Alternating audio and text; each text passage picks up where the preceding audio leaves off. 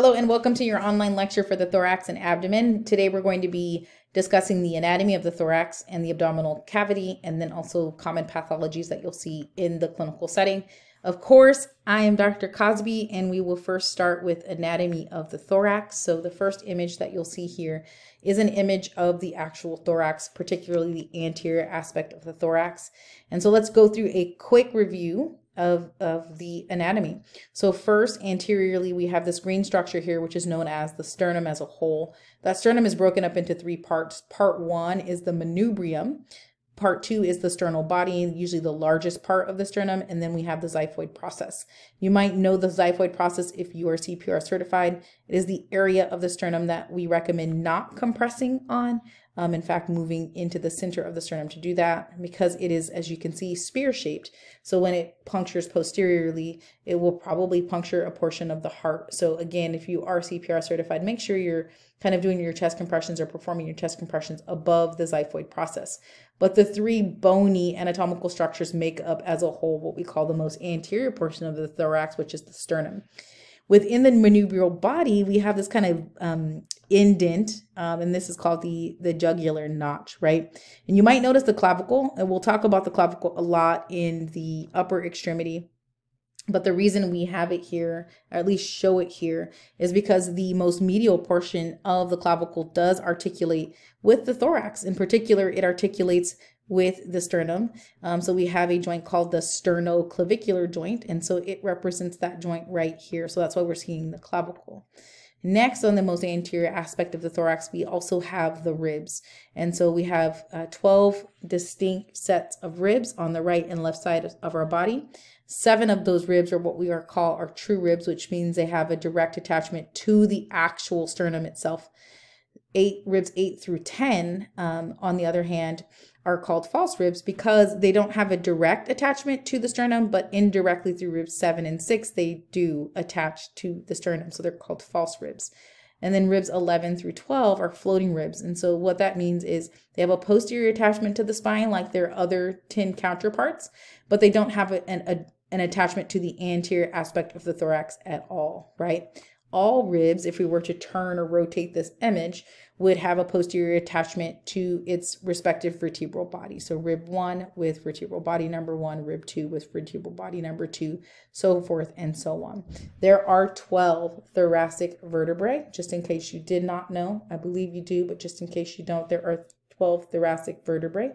12 ribs. Again, seven are true, which means they directly attach to the sternum. 8 through 10 are false, which means they indirectly attach to the sternum via um, uh, ribs 6 and 7 cartilage. And then ribs 11 through 12 are called floating because they don't have a direct, they don't have an attachment to the anterior sternum at all, right? So this, why is the thorax so important? That's usually the question that I would want to know if I were sitting in a class learning about the anatomy, the bony anatomy. The major role of the thorax is obviously protective in nature. It is going to protect the heart anteriorly, right? So that's one role. The other role is the thorax in general. I'm going to skip to this slide. The thorax in general plays a major role um, and is a major anchor site for many of the muscles that um, control motion at the glenohumeral joint or shoulder, elbow, wrist, and hand. It's also an anchor, anchor point for neck muscles. And if they, we were to flip this image, it would also be a major anchoring point for a lot of the back muscles. So you can see it's an anchoring point. You can see that it also provides a lot of the protection to the heart, but then not only the heart, the vessels that supply the heart and the, the lungs as well. So that thorax, the thorax both, an, both anteriorly and posteriorly play a major role in, in protecting, right? A lot of our major organs. As we move back to this image, ribs 11 through 12, they're floating, right? Which means they don't attach to the anterior sternum. But the reason we have ribs 11 and 12 is because posteriorly we have two internal organs um, known as the kidneys that sit relatively low. And so the major role of uh, the floating ribs is really to uh, protectionary in nature, to protect those kidneys as they sit relatively low um, and the posterior aspect of our abdominal cavity. So I'm going to keep going here and we're going to move into kind of abdominal anatomy. I, I, it would be remiss of me not to say that even though the abdominal cavity and the thoracic cavity are distinct cavities, the two are kind of interwoven or interlinked, right, in, in the ways that we think about their connections. So it, as an example, um, this is a thoracic cavity, right? And um, just underneath the thoracic cavity, one of the things that we can't see in this image is the diaphragm, right? And that diaphragm, we could imagine we could draw it in there. Oh, I guess we can. We can see it right here. The diaphragm, as we can see, is kind of the connecting piece between the abdominal cavity and the thoracic cavity. And we'll talk about the diaphragm in just a second. But let's let's dissect this abdominal cavity, right? The abdominal cavity houses all of our internal organs. So in the upper right hand quadrant, we have the large, very large liver. In the upper left-hand quadrant, we're going to have the spleen. In that lower left-hand quadrant, we have the descending colon um, and some of the small intestines. And then in the right lower quadrant, we have the appendix, which really isn't pictured here, but we will we have the appendix. And so um, those are the four kind of major internal organs. I've already mentioned the kidneys, which will sit more posterior and be protected by those floating ribs. But if we go back to this slide and we look at all of the muscles, right, which anchor to the thorax and or abdominal cavity.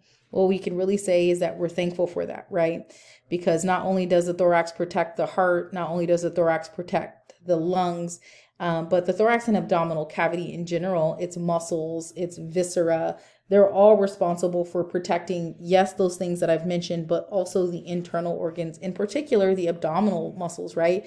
The lats or the rectus abdominis, the transverse abdominis, for example, or those obliques, they're majorly responsible for kind of keeping all of those internal organs in their space, right? But then also absorbing a lot of the shock or blows that might occur to the abdominal cavity so that our internal organs don't have to withstand those blows. So we have those internal organs here. And again, we can see how the abdominal region or the abdominal muscles in particular really kind of create a corset, right? A place for or a tight like anatomical structure which will then hold those internal organs in place. So any compromise or any injury to the rectus abdominis or any of the other muscles that wrap around the internal organs.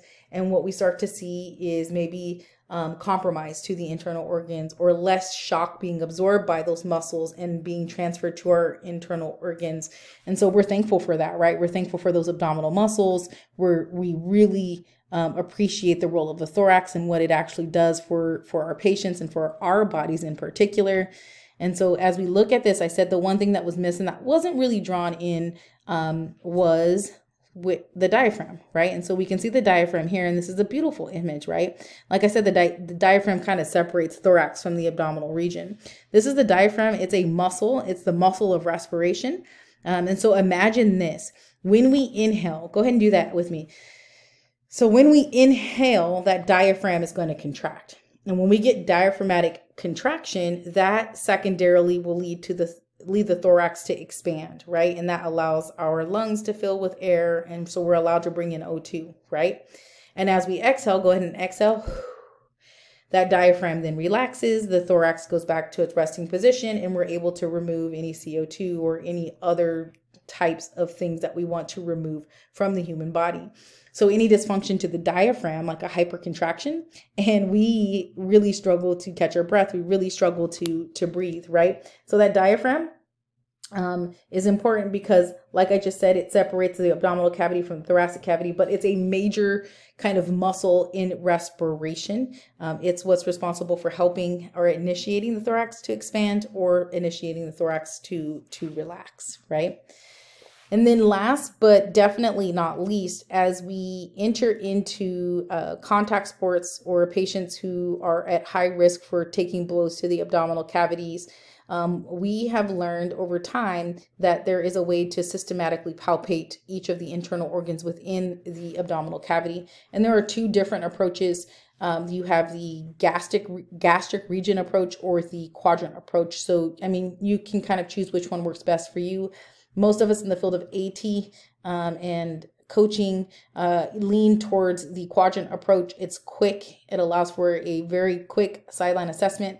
the um, abdominal pelvic regions or gastric region approach is going to be more thorough and is going to take more time which if you're not on the sidelines trying to determine return to play quickly then this is probably the more thorough approach and the approach that will allow you to really determine which internal organ might be compromised but if we take a quadrant approach, we have a right upper quadrant where most of the liver is going to live, not all, right? We're going to have the spleen in the upper left hand quadrant. In the lower left quadrant, we're going to mainly be assessing um, intestines, maybe, and, and uh, descending colon for sure. And in that right lower quadrant, remember we talked about the appendix, right? So it's a quick sweep. You're going to be palpating that. And maybe we'll do that in class if you all are comfortable with it. If not, maybe we can practice on some type of mannequin. But if we take an abdominal pelvic or gastric approach, then we're going to break those quadrants into really nine regions, right? So we have the right hypochondriac region, um, we have the left hypochondriac region and the epigastric region, which is named for the structure that lives in this region, which is going to be most of the esophagus or the stomach. We have the right lumbar region and left lumbar region, which really is named for the level at which it lives, and then the umbilical region, which houses the umbilicus or the belly button. And then we have the right iliac and left iliac region, which we know represents the level of the iliac crest. And then the hypogastric region means below the gastric region. And so that represents a portion of the uh, colon and um, you can see obviously some of the small intestines as well. And the bladder um, lives in that region. So whichever approach you use i would say be systematic with what that is. For me it's going to be the quadrant approach but certainly the region or gastric approach will work and is probably more thorough in nature. So now let's talk thorax pathologies and then we'll finish up with abdominal pathologies um, for this lecture. So first, pathology um, that is usually pretty pretty scary for the patient, not necessarily for us, is going to be a solar plexus injury. So as we think about the solar plexus, it's one of the most common injuries to the uh, thorax slash abdominal region. It lives right in in the sweet spot. So if we think about it, the solar plexus is like right where the central portion of the diaphragm is. That's the best way that I would say it. Essentially, what happens is a patient takes a blow, a direct blow to the solar plexus, which is approximately right here. And they have this kind of momentary paralysis of the diaphragm, right? Which really what it means is it feels like the wind just got knocked out of them, right? That's a kind of a I don't know, a non medical way to say that. I feel like I got the wind knocked out of me.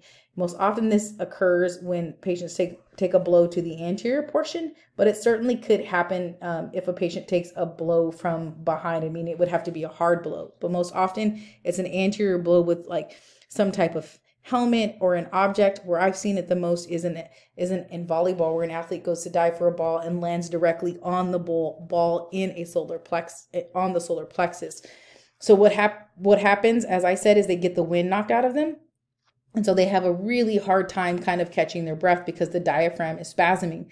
Now remember, when the diaphragm contracts, we know that the rib cage is going to expand and we're allowed to inhale. So if we have a hypercontraction, might be able to inhale, but we may not be able to get that breath out because of the spasming that's happening within the actual diaphragm. So they're going to have a hard time breathing. Your role as a clinician really truly is to help them control their breathing. So almost Lamaze breathing with them. Take a deep breath in with me, take a deep breath out. And as you're doing that, you're talking through them. You're saying, I know this is difficult. I know it feels like you can't get any air, but if you do this with me, I promise your breathing will restore itself. If that doesn't work, I've only had one severe case of a solar plexus injury. So I actually got in there and started kind of massaging um, the, the diaphragm a little bit in hopes that the spasm would relieve itself and we would restore normal breathing. So essentially for this pathology, you're really a Lamaze coach, right? Like you're teaching them how to breathe um, and, and restore that normative pattern, right? That's mainly your role. Most often it's not life threatening. The only time I would say it's life threatening is if they just can't catch their breath and they become cyanotic and maybe they pass out and you have to do rescue breathing. But again, that's a very rare, rare case. You're going to see this a lot in court sports where balls are present. So basketball, your volleyballs, the obvious would be MMA, boxing would be another one, right? If you really want, like if you're boxing or doing MMA, if you give a direct blow to the solar plexus, most often the patient's going to drop, right? Because they the diaphragm starts to spasm and they can't control their breathing. Next up are we're going to talk about a series of pathologies that are all going to present the same and are all going to be treated the same. The first is a rib contusion.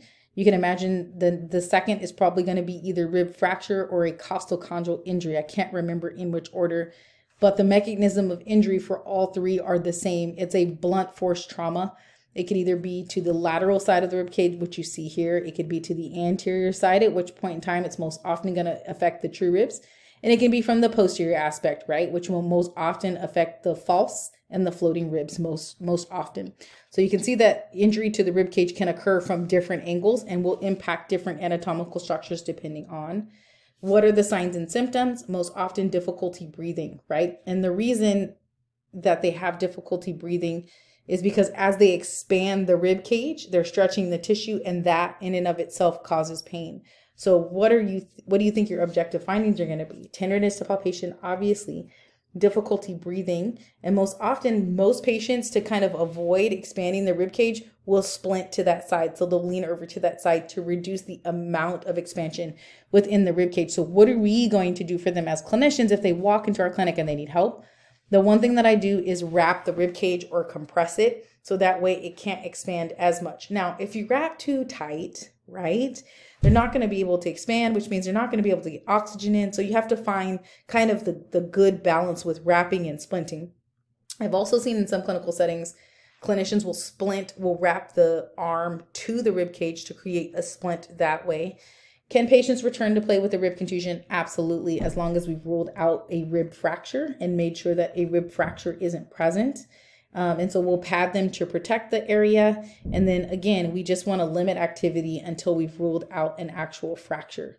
So here is a rib fracture. The subjective and objective components are exactly the same as a rib contusion, which I mentioned.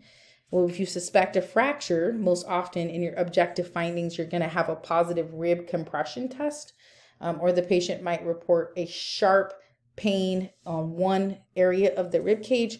In that instance, you're going to refer out for an X-ray, and if it's fractured, then you're you you definitely want to refer because most often with a rib fracture, especially if it fractures posteriorly, then you're concerned about whether or not you've actually punctured a lung and if air or um, blood is getting into the pleural cavity. That is a whole different set of pathologies, right? That we'll talk about. But for rib fractures in particular, about four to six weeks to heal themselves. We usually typically will splint the rib cage just so that the rib doesn't continue to get irritated and it can heal like it's supposed to. And then everything else is the same as a rib contusion. Now, we have the bony part of the rib, right? That's most often fractured. But you can also have an injury to what we call as the costochondral cartilage. That's the part of the rib, cartilage part that connects the rib to the actual uh, sternum, right? So these little blue, purple spots right here, these are all what we call our costochondral cartilage. Um, and so you can have a direct injury where to where there's a disruption between the cartilage that attaches to the sternum and the sternum itself, right? And that's a little bit different than an actual fracture. It's a cartilage injury, right? Which may take a lot longer to heal itself because it doesn't get as much blood, right? The mechanism of the injury is the same. It's blunt blunt force trauma. That blunt force trauma can certainly occur from lateral blow to the rib cage, which causes a disruption of the articulation at the sternum, or it could be a direct anterior blow to the sternum, which causes this disruption at the costochondral junction. Um, either way, the differential between a rib fracture and a costochondral injury is the location of pain, right? The location of pain for costochondral is going to be more anterior, right? You see that here, anterior medial. And then a rib fracture most often is going to be more lateral and maybe even posterior, depending on where that fracture is actually happening. Hard part is the objective is um, the objective findings are pretty much the same, right? Breathing is going to bother them. Um, they're going to be favoring the one side. The major differential is palpation. Where in the body does it actually hurt? We can also do rib compression tests too to rule out or rule in costochondral injuries. So what do we do with these patients? Pretty much the same thing we do with the patient who has a fractured rib, right? We're going to compress with an ACE bandage. We're going to help them breathe or restore their breathing. And then we can pad and most often we can return to play. One thing that scares me about these injuries is it's the most anterior medial portion. It's the portion that's closest to the sternum. And we know that the sternum does what? Right, it protects the heart and a lot of the arteries or veins that live just posterior to that. And so a true anterior injury to the costochondral costochondral junction really makes me nervous that that sternum will become more mobile and won't be as protectionary as it was as if the costochondral cartilage was intact and in place.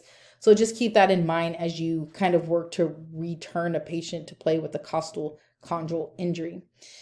Next up is thoracic outlet syndrome. Um, as you look at this image, and I recognize that not all of you have had anatomy, so I'm going to try my best to talk through this slowly, knowing that we all haven't had anatomy yet. So if we look at this image, remember I said the clavicle, I mean, it is a part of the thorax because it attaches medially to the manubrium, right? So we have this sternoclavicular joint. So we have the clavicle here. One of the reasons we also mentioned the clavicle is because just deep or inferior to the clavicle is the first rib. So you can see that here, right? But what we can also see in this image, um, imagine the neck being here, we can see the anterior scalene muscle, but we can see a set of neurovascular structures. We can see the brachial plexus. The brachial plexus is a series of nerve roots which emanate off of the cervical spine and travel into the upper arm and supply the, the shoulder, the elbow, and the hand, right? So we can see that this neural structures, these neural structures or nerves will pass through and underneath the clavicle and between the first rib, right? In addition to that, we have the subclavian artery and the subclavian vein, which are doing the same thing, right? That subclavian artery is passing just underneath the, the clavicle, but above the first rib, and so is that subclavian vein. So we have three neurovascular structures. We have the, the nerves of the cervical plexus or brachial plexus, we have the subclavian artery, and we have the subclavian vein. And in a normal patient, this is great, right? The nerves have enough space to move through to their respective distal extremities the artery has enough space to do what it's uh, expected to do, and so does the vein, right? But in some rare instances, we can have a patient who um, suffers from one of the disorders which impacts the thoracic outlet, right? That make sense? So, how do we define thoracic outlet? Really, what we're thinking of is kind of this space between the clavicle and the first rib, which houses these neurovascular structures, right? So, most common type of thoracic outlet that we see, uh, syndrome that we see, is can be the scalenes being so tight that they compress upon the subclavian artery and or the nerves of the brachial plexus. That's one. We can also see an elevated first rib. So if the rib is elevated, there's less space for the vascular structures and neural structures to pass through. So it can compress if the rib is elevated, it can compress upon the neural structures and the vascular structures, right? Does that make sense so far? Sometimes we can see um, even more distal. The uh, pec minor can also be extremely tight or contracted and also compress on the neurovascular structure. So the nerves that are emanating off of the brachial plexus, the subclavian artery, or the subclavian vein right? So as we think about this, we have to think okay, there are three structures that can be um, compromised. Either it's a, a nerve or multiple nerves in the brachial plexus. It's the subclavian artery and or the subclavian vein, right? So the concern is if there's impingement to the subclavian artery, the hard part with that is kind of recognizing what the subclavian artery does, right? The subclavian artery, its major role is going to kind of kind of be to carry oxygenated blood to kind of the the the extremities, the upper extremities of the body, so the upper arm and the neck, and in some ways to the brain via the circle of Willis, right? Um, and then if it's the subclavian vein, then you have to say, okay, what's the role of the subclavian vein, right? Essentially, what what it does is it takes deoxygenated blood and and brings it back to the heart where it can be oxygenated, and then it can it then can travel through the subclavian artery back artery back to the upper extremities. So regardless of which of these uh, vascular structures becomes impinged, we still are concerned, right? Either if it's the artery, we're not getting enough oxygenated blood to the extremities um, if it's a vein, most often what we're really concerned with is the development of like a deep vein thrombosis, right? Or a blood clot that may get get lodged and block blood flow back to the heart.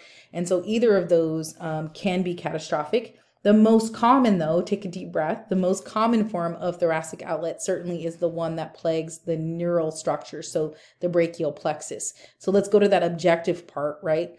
Uh, where our patients most often with thoracic outlet syndrome will complain of that numbness and tingling um, or pain into the arm during overhead activities because you're stretching the brachial plexus.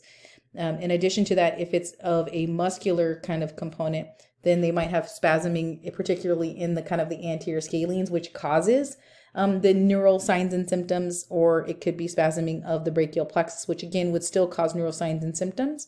Um, so what we will have to do ultimately are special tests, right? And so what we're going to do um, is Roos test, Allen's, Adson's, and military brace.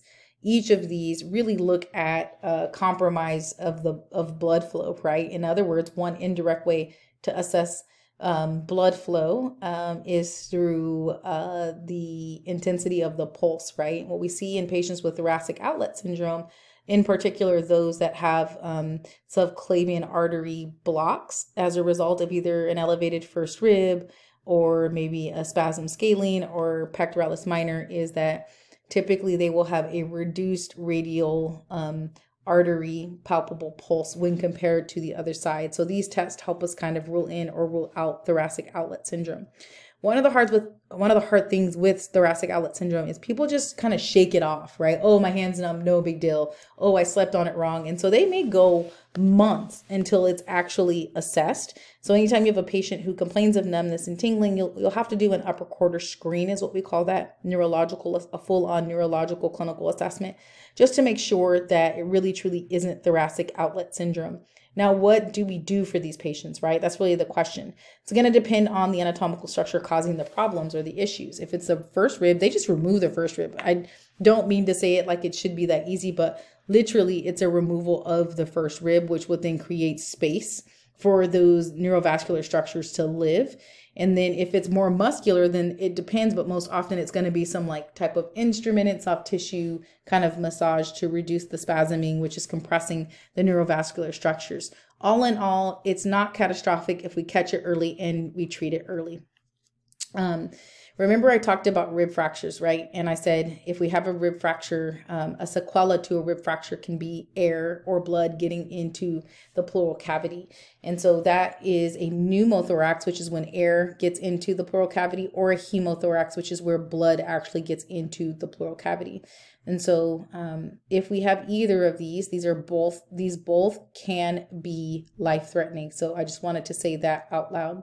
The mechanism of injury for a pneumothorax or hemothorax is blunt force trauma, most often to to the thorax region, which is most often associated with a rib fracturing um, and maybe puncturing the pleural cavity and allowing air and or blood to get into the space. Now, oftentimes, as air or blood is allowed to fill the space, one of the things that you'll see is a tracheal deviation. So you can see the trachea starts to to deviate or shift or change its position. So that's one visual thing that you all can do. If you notice after a blow to the rib cage that you start to see tracheal deviation, or in in this case, if a patient has a pneumo versus a hemo, if you have them cough and you see blood on their hand, that's hemothorax. Those are medical emergencies because what happens over time is as air or blood is allowed to continue to drive into the, the the pleural space, what you'll start to see is what happens on this side. You got it. The lung starts to shrink, right? To make way for the air or the fluid that needs to sit in that cavity. So those patients are going to kind of report chest, deep chest pain. So you may even be thinking heart attack, possibly shortness of breath. They'll have an increase in their heart rate, right? Because the body's trying to work harder. And so this is a medical emergency. I've had this happen twice. I've had a pneumothorax happen twice in my life. Um, and both times, what they do is they go in through the two ribs, they um, split them, and then they put in a vacuum. And so that vacuum slowly removes the air or slowly removes the fluid. But again, medical emergency if after after a fracture your patient is spitting up blood, um, or if after a fracture you note a, a tracheal deviation. Now, there is this thing called sudden death syndrome and um, we are you all are have been blessed enough to kind of see this play out in the nfl i'm assuming all of you at some point in time have seen the Damar Hamlin um, film where he collapsed instantaneously on the field and no one knows what happened exactly. My guess is it was commotio cordis. It didn't end in death for him but commotio cordis is where you take a blow to the anterior part of the sternum so the sternal body and it has to be literally right at the a specific time so you take a direct blow to the anterior sternum of the chest and that causes the heart um, to go into fibrillation the patient will immediately collapse, as we saw in the Damar Hamlin case. And um, if you don't begin um, CPR efforts or AED efforts right away, then the patient typically will um, pass away instantaneous, which is why we call that sudden death syndrome. So the big things, things that were done well for Damar Hamlin is their certified athletic trainer, I'm saying that proud, um, reacted immediately and instantaneously and started CPR. And then, of course, eventually, I'm assuming they, they got the AED. By that time, everyone had crowded around, so we couldn't see the treatment. But it was one of the best treatments that I've seen in an emergent situation. You can tell that athletic trainer probably had practiced multiple times. So having an emergency action plan in place is going to be extremely important. And then for most NFL and NCAA Division One athletes, everyone has to get an EKG to rule out um, pre-existing heart conditions like hypertrophic cardiomyopathy, which essentially is an enlarged or a, a, thickened ventricular septum, which means that our left ventricle can't fill with as much blood, which means there just isn't as much blood to pump out to the rest of the body.